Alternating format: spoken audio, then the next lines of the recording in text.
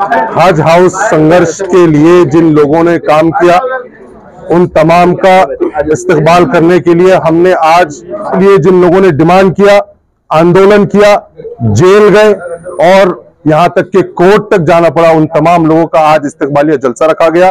खसूसी तौर पर यहाँ पर जो औरंगाबाद में एक बहुत बड़े लेवल पर धरना चला, उसमें हमारे अजीम भाई और उनके पूरे तमाम साथी, अमजद भाई, सईद साहब सिद्दीकी साहब, अयूब भाई और जिन्होंने आक्रामकता के साथ इस जमीन का ताबा लिया हमारे बड़े भाई अमित भाऊ भुईगढ़ साहब और कोर्ट से जिसने अपनी पिटिशन दाखिल करके सरकार को हलचल कर कर सरकार से इस काम को करवाने का काम जो शुरू किया हमारे अहमद चौ साहब का इन तमाम लोगों का हमने इस्तेमाल रखा था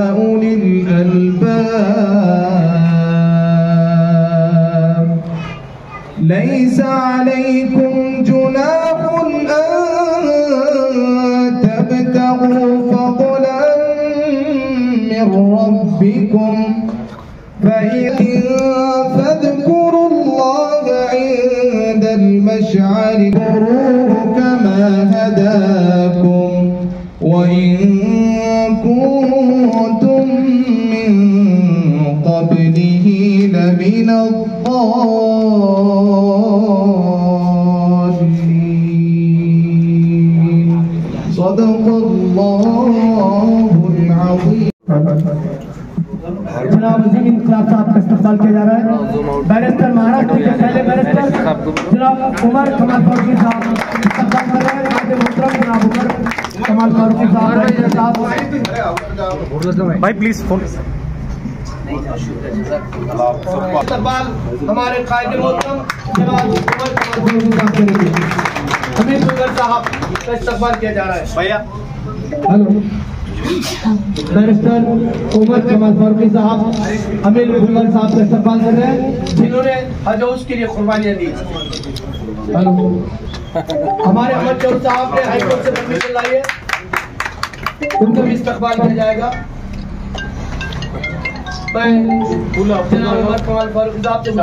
हूँ।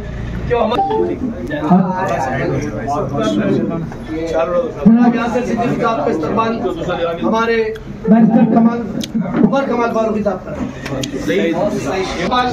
बैरिस्टर कमाल फारूकी उमर साहब से गुजारिश करूँगा।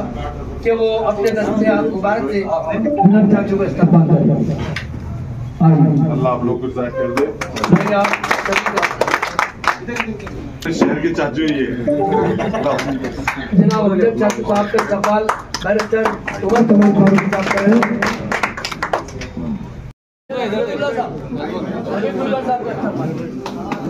अमर चौर साहब का सर इस्तेमाल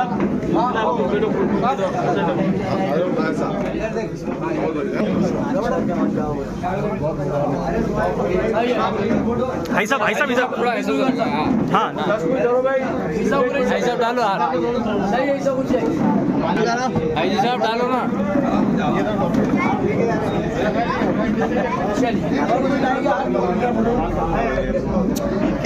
थोड़ा नीचे करो आगे रहिए अमित साहब और ये प्रोग्राम अचानक फिक्स हुआ। हज हाउस संघर्ष के लिए जिन लोगों ने काम किया उन तमाम का इस्तकबाल करने के लिए हमने आज जुना बाज़ार में यहाँ पर इस्तकबालिया प्रोग्राम मुनद किया। हज हाउस की जो बुनियादी जो मसला चल रहा था, इसके लिए जिन लोगों ने डिमांड किया, आंदोलन किया, जेल गए और यहाँ तक के कोर्ट तक जाना पड़ा, उन तमाम लोगों का आज इस्तकबालिया जलसा रखा गया। खसूसी तौर पर यहाँ पर जो औरंगाबाद में एक बहुत बड़े लेवल पर धरना चला उसमें हमारे अजीम भाई और उनके पूरे तमाम साथी, अमजद भाई, सईद साहब, सिद्दीकी साहब, अयूब भाई, और जिन्होंने आक्रामकता के साथ इस ज़मीन का ताबा लिया, हमारे बड़े भाई अमित भाऊ बुईगढ़ साहब, और कोर्ट से जिसने अपनी पिटिशन दाखिल करके सरकार को हलचल कर कर सरकार से इस काम को करवाने का काम जो शुरू किया, हमारे अहमद चौध साहब का इन तमाम लोगों का हमने इस्तेमाल रखा था। आज हम इस इसके ज़रिए, इस प्रोग्राम के ज़रिए इत्तेहाद का मैसेज दे रहे हैं और हम सबसे अपील कर रहे हैं कि हम सबको चाहिए कि हम किस तरह पॉजिटिवली कौम और मिल्लत के मसलों को हल कर सकते हैं। इस पर एक प्लाट एक प्लेटफॉर्म पर आने की ज़रूरत है और ज़्यादा से ज़्यादा कोशिश करने की ज़रूरत है कि हमारे अवाम को इस हज हाउस का फ़ायदा किस तरह हो सकता है। हमने मांग की है सरकार से कि स्टडी सेंटर इस हज हाउस में जो बच्चे एमपीएससी आईएएस आईपीएस के लिए तैयारी करेंगे उनके लिए एक स्टडी सेंटर का भी यहाँ पर ऑफ़िस यहाँ पर एक सेंटर खुला होना चाहिए। और इसी के इसी के साथ साथ मौलाना आज़ाद फाइनेंस कॉरपोरेशन का भी सब ऑफ़िस इस हज हाउस में आना चाहिए, ऐसी हमारी डिमांड है।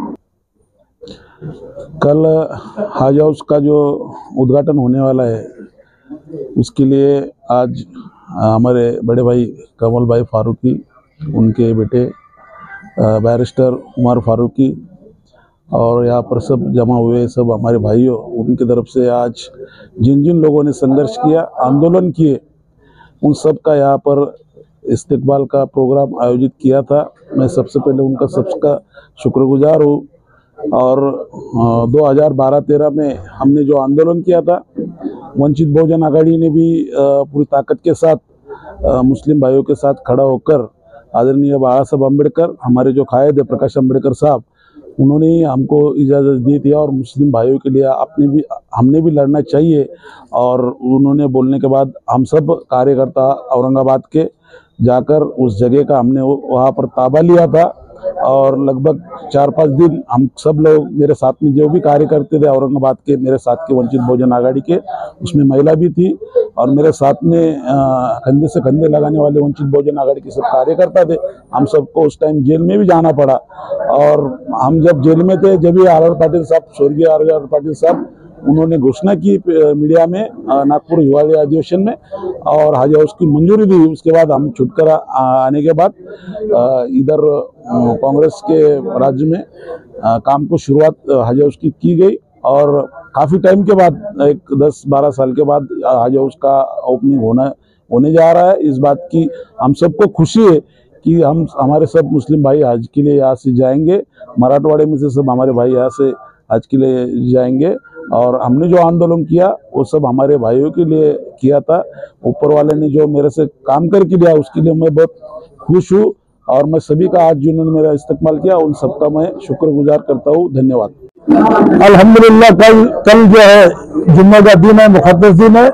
कल हज हाउस का इस्तीफा होने जा रहा है और मैं सरकार से ये कहूँगा कि पंद्रह साल लगातार संघर्ष करे, यहाँ पर बहुत सारे लोगों ने आंदोलन करे, मोर्चे निकाले, धरने दिए। तो मैं चाहता हूँ कि उन लोगों की कुर्बानियों को भी ध्यान में रखते हुए यहाँ पर सारे जितने भी जो आंदोलनकारी थे, सबको बुला के सबका वहाँ पर सत्कार करना चाहिए। बस मेरी सरकार से इतनी डिमांड है। आज का ये इस्तकबालिया जलसे का मकसद ये रहा कि हमारे नबी करीम सल्लल्लाहु अलैहि वसल्लम ने जो हमें तालीमात दी है, ये तालीमात कि तुम्हारा कोई अगर कांटा भी निकालता है तो उसका तुमने शुक्रिया अदा करना चाहिए। इसी मकसद के साथ, इसी बुनियाद के साथ हमने ये प्रोग्राम रखा और इन लोगों ने, जिन लोगों ने असल मेहनत की, संघर्ष किया, भूखे रहे, जेल गए। हमारे अमित भाई भुईगढ़ जेल जाना पड़ा उन्हें, जब उन्होंने ताबा लिया ज़मीन का। हमारे अजीम भाई और उनके पूरे साथियों ने मेहनत की। हमारे अहमद चाऊ साहब ने कोर्ट में जाकर मेहनत की। तो इन तमाम का हमने इस्तेबाल यहाँ पर रखा था। मैं आप तमाम से भी अपील करूँगा कि जिन लोगों ने सही काम किया है, उन तमाम लोगों का हमने इस्तेबाल करना चाहिए और इन लोगों की हिम्मत अफजाई करना चाहिए।